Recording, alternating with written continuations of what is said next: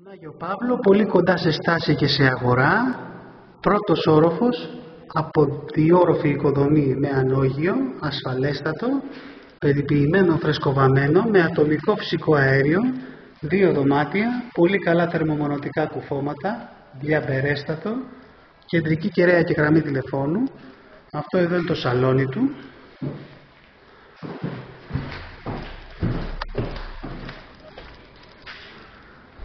Κάτω εκείνη το λεωφορείο. Στενό μπαλκόνι από εδώ. Ωραία βαμμένο. Απλή είσοδο. Αυτό είναι το μπάνιο του. Θα το πείτε και στις φωτογραφίες.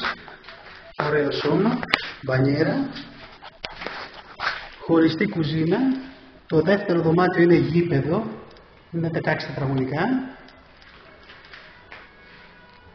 Κουζίνα σχετικά καινούρια το έπιπλο και εδώ βλέπει πίσω ουσιαστικά έχει το λεπιτάτο το φυσικό.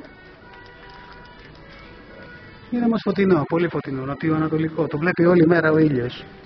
Δεν έχει βορρά. Πολύ καλός ιδιοκτήτης, γλυκύτατος. Και το ζητάμε για σχετικά καλή τιμή